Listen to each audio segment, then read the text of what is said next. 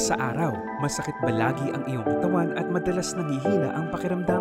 Nagpa-check up ka naman pero sabi nito wala namang problema. Baka naman kulang ka lang sa vitamin D. At gaano ka-importante ito sa ating kalusugan? Ang vitamin D ay hindi talaga vitamin kahit ito ang tawag sa kanya. Ito ay isang pro-hormone, mga nutrient na hindi nagagawa ng katawan Nagpa-produce lang ng vitamin D ang katawan kapag ikaw ay na-expose sa araw, kumakain ng mga pagkaing mayaman sa vitamin D at nagtitake ng vitamin D supplement. Mahalaga ang vitamin D upang mapanatiling masigla ang katawan at mapangalagaan ito laban sa maraming sakit tulad ng type 1 diabetes at cardiovascular disease. So paano malalaman kung kulang ka sa vitamin D? Ano-ano ang mga nararamdaman o senyales na kailangan mo ng kaibiganin si Haring Araw? Isa-isahin natin. Number 1. Walang gana. Laging nanlalambot. Tamad kumilos, walang ganang makipag-usap o makisalamuha sa tao. At minsan naman ay balisa. Kung wala namang ibang health issue, makabubuting ipacheck baka kulang ang katawan sa vitamin D dahil ang sunshine vitamin ay mahalaga sa masiglang takbo ng isip at pagkabalisa ugaliing lumabas sa umaga para maarawan, makalanghap ng sariwang hangin at ma-appreciate ang paligid. Kumain din ng mga pagkaing sagana sa vitamin D tulad ng pula ng itlog, cereals at mackerel upang bumalik ang sigla. Power Up Number 2. Masakit ang kasukasuan o muscles. Mahirap malaman agad ang dahilan ng pagsakit ng kasukasuan pero may mga ebidensya na ang vitamin D ay isa sa maaaring dahilan sa nararamdamang sakit. Sa isang pag-aaral sa mga taong may pabalik-balik na sakit ng katawan, na pag-alaman na 71% sa kanila ay kulang sa vitamin D. Ang vitamin D ay napakahalaga sa maayos na takbo at lakas ng muscles. Ilang pag-aaral ang nagpatunay na ang pag-inom ng mataas na dosage ng vitamin D supplements ay nakatutulong upang mabawasan ang iba't ibang uri ng sakit ng katawan Get up and go! Number 3. Pinapawisan ang ulo. Isang sintomas ito na mababa ang supply mo ng vitamin D. Ayon sa express.co.uk, ang pamamawis ng ulo at anit ay isang indikasyon na kailangan mo na mag-take ng vitamin D supplement, magpa-araw at kumain ng mga pagkaing masustansya sa vitamin D. Sweat it out, guys! Number 4. Parating nahihilo. Kapag kulang sa vitamin D, maaaring maging sanhi ito ng pagkahilo kung magkaminsan ay vertigo. Dahil sa maraming health benefits ang vitamin D, inire-recommenda ng mga research author na alamin ang vitamin D supply ng mga pasyenteng may vertigo at kung kailangan nila ng vitamin D supplement. Goodbye, hilo! Number 5. Masakit ang buto. Ang pananakit ng buto ay isang indikasyon na kulang ka sa vitamin D at calcium. Ito ay maaaring maging dahilan ng panganib ng bone fracture, osteoporosis, rickets at osteomalacia, lalo na sa mga kababaihan.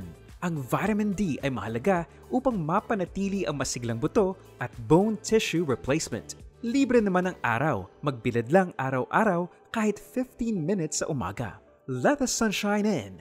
Number 6. Hirap makatulog Lumabas sa research na may kaugnayan ang vitamin D sa kalidad ng pagtulog. Ayon sa Healthline, sa katunayan, maraming pag-aaral ang nagsabi na ang mababang level ng vitamin D ay may kaugnayan sa mataas na panganib ng hindi pagkatulog o kulang sa oras ng pagtulog. Although wala pang scientific research na ang pag-supplement ng vitamin D sa gabi ay nakaaapekto sa pagtulog. Pero kung kulang ka sa vitamin D, labas-labas lang sa umaga at makipagkita kay Haring Araw. Para sa gabi, mahimbing ang tulog. Sleep tight. Number 7. Matagal gumaling na sugat. Kung hindi ka naman diabetic at napansin mong mabagal o hindi gumagaling ang sugat, baka vitamin D deficient ka. Malaki ang papel ng vitamin D upang mapanatiling masigla ang balat sa katunayan, lumabas sa resulta ng isang test tube study na ang vitamin D ay nagpapataas ng production ng compounds na mahalaga upang makabuo ng panibagong skin. Ito ay bilang parte ng wound healing process ayon sa Healthline. Magpa-check up kung gaanong vitamin D ang kailangan mo para dagdag pogi at ganda points. Number 8. Feeling pagod at nanghihina. Maraming dahilan ang panghihina at feeling pagod at isa rito ang kulang sa vitamin D. Hindi natin ito pansin pero maraming case studies na ang nagpatunay na ang mababang blood levels ng vitamin D ay dahilan ng panghihina. na maaaring may malalang negatibong epekto sa kalidad ng iyong buhay. Napatunayan din na ang pagdagdag ng vitamin D supplement sa diet ay nakapagpapababa ng pakiramdam ng pagod at panghihina.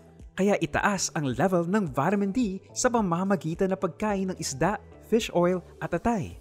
Ibalik ang lakas!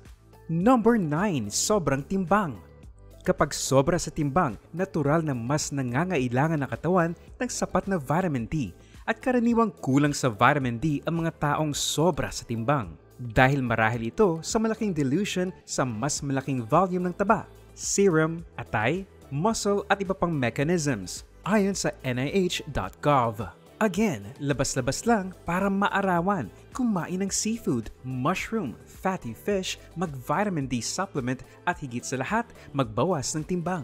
Galaw-galaw lang pag may time.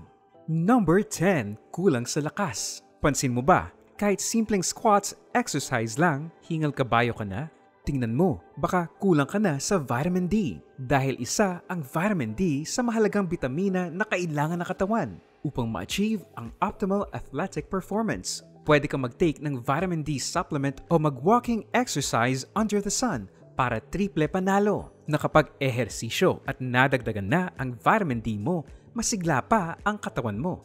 Ikaw na! Number 11. Problema sa puso. Mataas sa blood pressure? Nagbabadyang sakit sa puso?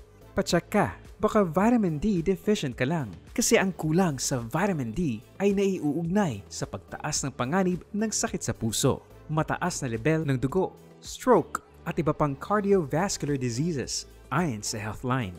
Kay dali lang naman gamutin kung kulang ka sa vitamin D Madalas namang umaraw, may mga suplemento at pagkain na angkop sa'yo. Tandaan, isa lang ang puso, patibukin ito ng maayos. Number 12, nagiging malilimutin. Hinahanap mo ang iyong salamin? Check mo ang ulo mo. Di alam kung saan nailapag ang lapis? Check mo ang tenga mo. Nandun sila lahat. Bakit ka nagiging malilimutin eh ke bata-bata mo pa? Pacheck ka rin. Baka kulang ka lang sa vitamin D. Ang vitamin D ay may neuroprotective effect at nagpe-preserve ng maayos na takbo ng nerves. Huwag mo nang paabuting malimutan ang iyong pangalan. Go na kay Doc para maresetahan ng vitamin D supplement. What's that again? Number 13, nalalagas na buhok. Ang vitamin D ay nagpapasigla na pagtubo ng buhok at kung kulang ka sa bitaminang ito, natural na malalagas ang iyong crowning glory. May research na nagsasuggest na ang mababang level ng vitamin D ay may kaugnayan sa alopecia areata, isang malalang sakit ng pagkalagas ng buhok hindi lang sa ulo kundi sa ibang parte ng katawan.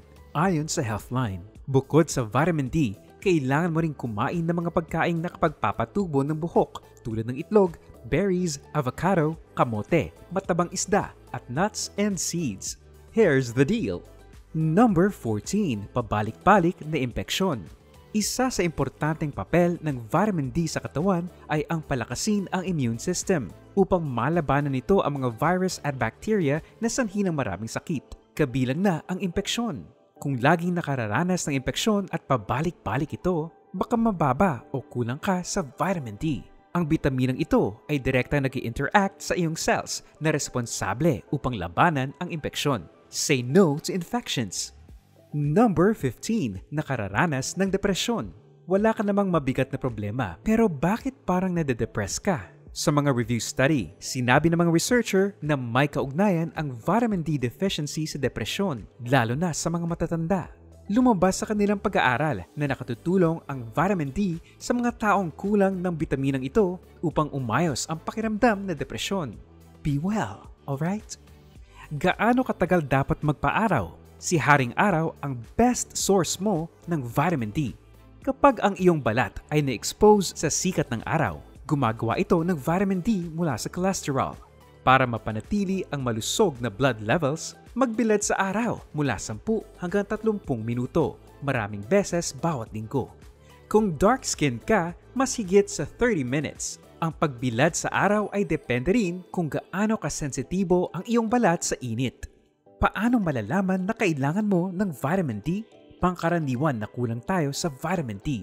Pero kadalasang hindi natin ito alam dahil ang mga senyales at sintomas na nabanggit dito ay pangkaraniwang nararamdaman bilang common illness. So, kumonsulta sa doktor na siyang magre-rekomenda na mag-undergo ka ng serum vitamin D blood test. Dito malalaman kung mataas, tama lang, hindi sapat, o kulang ka sa vitamin D ayon sa medical news today. Ikaw, nararamdaman mo ba na kulang ka na sa vitamin D? Paano at ano ang ginawa mong lunas? Take Fern D every day for your dose of sunshine, even when it's cloudy, even when it rains, morning or night. You'll always be alright. Fern D, vitamin D even without the sun.